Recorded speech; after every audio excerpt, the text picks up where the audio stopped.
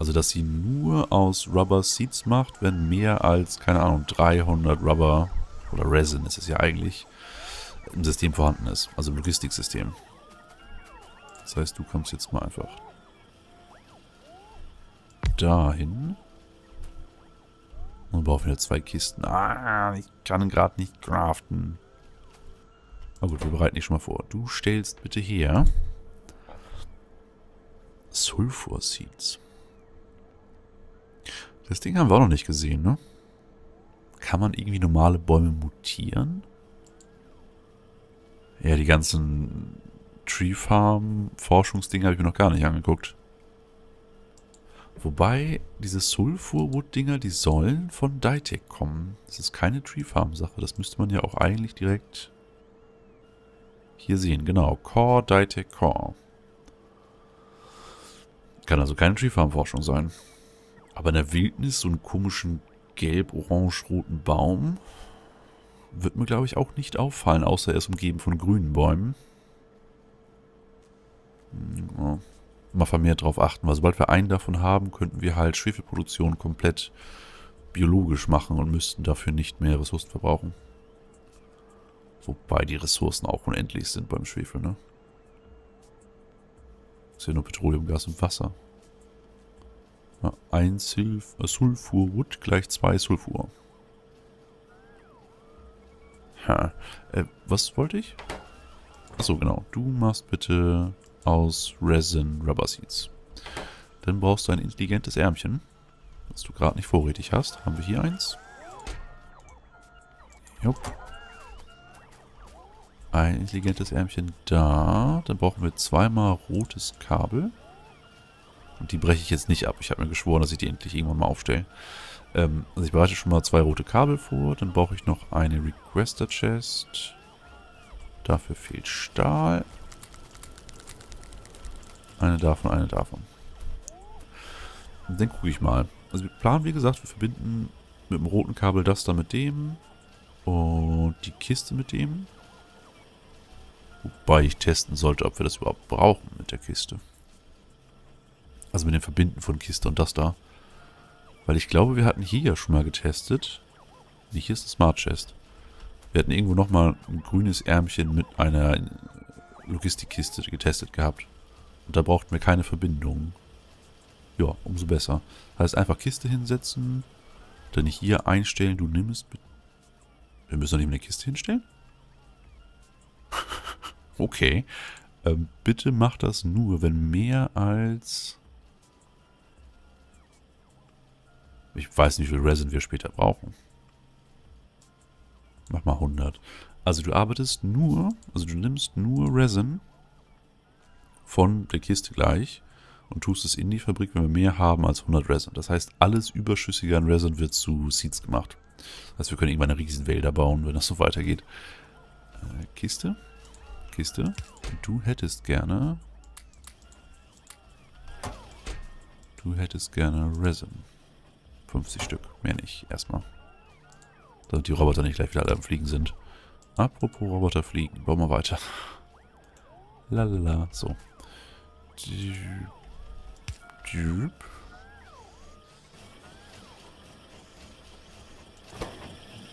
Schnelleres Ärmchen brauchen wir nicht. Nö. Ja, gut, das läuft soweit. Beschränken tue ich die auch nicht. Das heißt, wir können immer sporadisch hier hin vorbeigehen und dann von Hand Bäume setzen. Oder wir erweitern später unser Roboternetzwerk hier mit dem Roboport hin. Setzen dann hier Gib mir Kisten hin, die dann immer das da befüllen und entfüllen. Und dann haben wir endlich viel Resin und endlich viel Samen, um dann Riesenwälder zu bauen, um fast gar keinen Smog mehr durchzulassen. Wobei es jetzt schon wieder ein Ticken schlimmer aussieht als vor kurzem noch. Also dieser Auswuchs da kommt immer wieder raus und geht wieder rein, raus und wieder rein. Wahrscheinlich, genau, weil der Wind gerade direkt nach Westen pustet. So, setz den mal bitte dahin. Was ist mit dem Eisen hier los?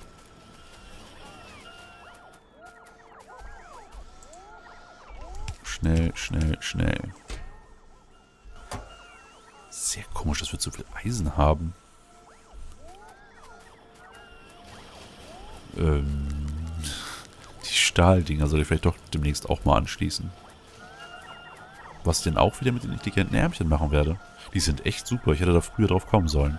Also ich kann dann ja einfach das so einstellen, dass die intelligenten Ärmchen nur ähm, Eisen annehmen, um daraus Stahl zu machen, wenn mehr als x Eisen im System ist.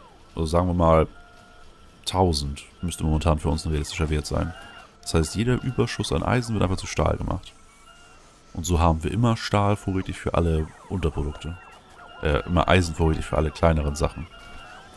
Und der Luxusartikel Stahl wird dann halt nur hergestellt, wenn die Basic-Sachen abgedeckt sind. Weil Basic-Sachen sind wichtig, wie zum Beispiel hier grüne Tränke, rote Tränke. Das nützt uns nichts, wenn wir 1000 Stahl haben, aber kein Eisen. Aber dann keine Forschung machen können. Dann können wir ganz viele Stahlpickaxen machen und von Hand alles zerstören, aufbauen, aber nee. Aber das sieht schon mal sehr gut aus. Sehr, sehr gut. Roboter. Freilassen.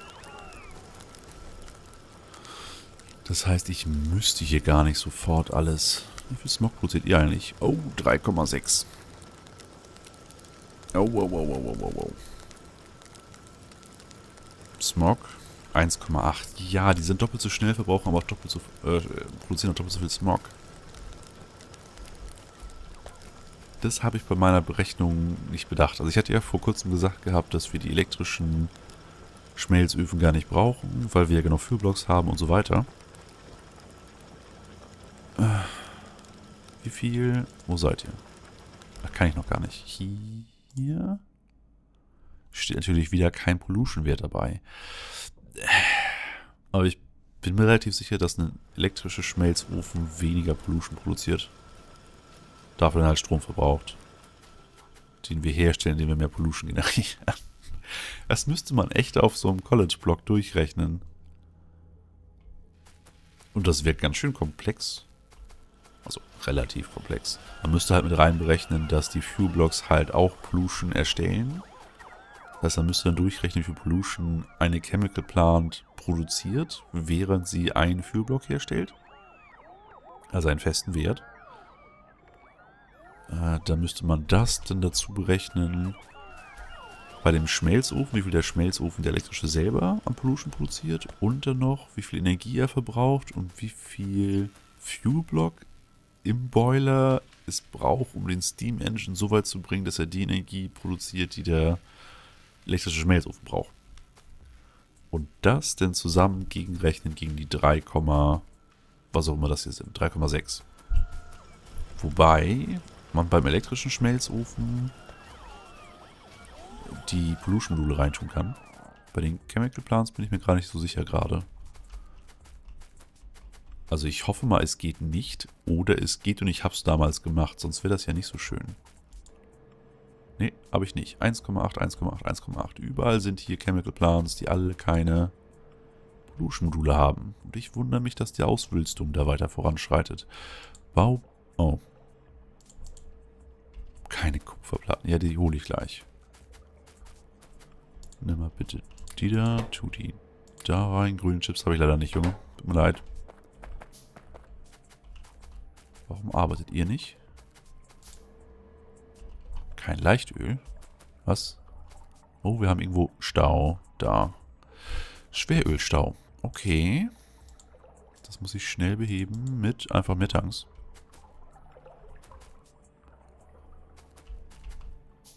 Da und da. Nimm die Lampe da weg. So, die füllen sich jetzt mit Schweröl, die fangen an zu arbeiten, dadurch kriegen wir Leichtöl. Gut, dass mir das aufgefallen ist. Sowas ist nämlich nicht schön. Was mich auch wieder daran erinnert, dass wir ebenfalls zu den zigtausend anderen Sachen, die wir gleichzeitig machen müssten, das Splitten erforschen sollten. Also das bessere Refinern. Weil dadurch kriegen wir halt auch das Aufsplitten von Schweröl in Leichtöl. Dann staut sich das hier nicht so. Größere Tanks wären auch noch schön und Substations und ja. Es dauert echt lange. Das habe ich total unterschätzt, wie lange es dauert, in angenehme Tech-Stufen zu kommen. Wo man halt nicht so viel managen muss. So, Wind ist schon mal wieder gewechselt, das ist gut. Hier. Ich brauche Kupferplatten. Kupferplatten, Kupferplatten, Kupferplatten. Brützel, Brützel. Bleiverarbeitung ist noch nicht mehr bei 50%. Das ist krass. Gibt noch ein bisschen mehr Eisen, damit ich die Stahldinger durchgehend befüllen kann. Und baue davon ein paar. So, rein, rein, rein. Raus, raus, raus. So. Was noch? Bäume. Gib mal die Bäume da. Ich mach mal am Westen zu. Weil wir haben recht häufig Wind nach Westen. Also von Osten kommend, Richtung Westen pustend. Dass ich hier ganz gerne so eine Art Schutzwall hätte. Und ich mag Monokulturen, also weg mit euch. So. Und an dem Tag, an dem eine Monokultur ein Problem wird, wie es in Real Life ja auch ein Problem normalerweise ist, weiß man, dass Ditech zu weit gegangen ist. Also wenn jetzt Schädlinge auftauchen, die nur einen Wald angreifen, wenn es nur aus einer Art von Wald besteht, dann hat der Mod-Auto definitiv übertrieben. Sowas könnte ich mir bei Dwarf Fortress auch gut vorstellen. Das ist ja noch ein Ticken komplizierter, ne? Ein ganz kleines Tickenchen. Wobei Automatismen waren nicht so viele da. Oh, du musst weg. Weg. So. Das wird ein schöner Block. Bisschen krumm und schief, aber es wird ein Block. Und der sollte das Mock abhalten, dass es nicht zu der Basis da kommt. So lange, bis ich meine Combat Shotgun habe und meine modulare Rüstung und dann da die Small weiter wegschießen kann und die Spawner. Aber wenn das echt nur Small sind, könnte ich echt versuchen, diese Dreierpunkte anzugreifen. Es werden sehr viele sein, ja. Weswegen ich eigentlich jetzt schon Munition herstellen sollte. Keine so schlechte Idee ist. Es werden sehr viele sein. Aber ich hoffe, ich kann dagegen anstecken und wenigstens einen Spawner töten, dann zurückziehen, dann wieder zurücklaufen, dann wieder einen Spawner töten und so weiter. Das wären nämlich dreimal im Schnitt so vier Alien-Artefakte. Also zwölf, was nicht viel ist. Aber wir hätten schon mal die Bedrohung vor der Haustür weg. Dann nochmal den dazu, dann wären wir schon bei fast 20. Wir brauchen an die 50 oder so, ne? Ah, das ist so garstig. Also an die ersten Alien-Artefakte ranzukommen. Außer ich mache wieder diese Einbunker-Taktik und ultra viel Pollution. Aber das hat ja auch nicht so wirklich gut geklappt in der letzten Welt, ne? Ja. So, warum arbeitest du nicht? Weil wir nicht mehr genug Rubber im System haben? Resin? Ja, hat er alles verbraucht. Ganz artig. Oh, die intelligenten Ärmchen sind super. Sehr schön. Roboter? Roboter. Zack. Und 42 Roboter sind am Arbeiten. Stapeln sich irgendwann mal irgendwo grüne Chips. Ne. Die werden sich erst stapeln, wenn wir auf MK3-Fabriken und MK4-Fabriken umsteigen. Ja. Aber das hier schaut gut aus. 52. Das, das, das, das ist unerwartet. Ja, jetzt müsste ich die umbauen. Also ich lasse jetzt nochmal Blei durchtickern. Das dauert bestimmt noch so anderthalb, zwei Folgen. Wenn es dann durchgetickert ist, dann versuche ich dran zu denken, diesmal, wenn die Forschung durch ist, das hier alles abzureißen. Die dann hier hinten irgendwo neu aufzubauen. Und damit Kisten zu versehen. Und dann haut das damit besser hin. Kann jetzt besser steuern. Und dann haben wir jetzt schon genug hellblaue Science Packs. Kann die mal alle hier einsacken. Wir haben jetzt genug helle Science, hellblaue Science Packs, um die Combat Shotgun zu erforschen. Richtig? 50, ja. Raketenzeug ist alles nur grün und rot. Worauf allerdings auch noch ein bisschen weil wir zwei Sachen dafür erforschen müssen, bevor wir Rocketry erforschen können. Aber ist trotzdem in greifbarer Nähe und das ist schon mal ganz schön. Das heißt, jetzt speichere ich erstmal ab. Nächste Folge werden wieder Roboter produziert. Wir kümmern uns um die Bäume. Also immer schön weiter Bäume da bauen, weil ich würde doch ganz gerne noch mehr Ressourcen haben und den Anfang hier noch mehr Fabriken zu bauen. Dann wird die Forschung vorangetrieben. Ich werde wahrscheinlich alle acht neu aufbauen. Eventuell sogar mehr. Aber ich denke, acht sollten eigentlich reichen. Wir haben es bisher nie geschafft, dass wir so viele durchgehend haben arbeiten lassen. Also jetzt geht es momentan gerade, weil es halt nur grün und rot ist. Aber sobald wir auf hellblau umschwenken, werden wir nicht acht Fabriken durchgehend laufen lassen können. Und wir haben nicht genug Ressourcen für eine zweite hellblaue Fabrik. Naja. Also eventuell nochmal Draht, nochmal Chips. Bei woran mangelt's? Am Draht. Eventuell einfach nur zwei Fabriken, die nur Draht herstellen. Können wir ja da und da hinpacken. Und dann lassen wir die Ärmchen einfach hier weiterlaufen. Äh, die Fließbänder. Boah, das gucken wir dann gleich. Bis dann.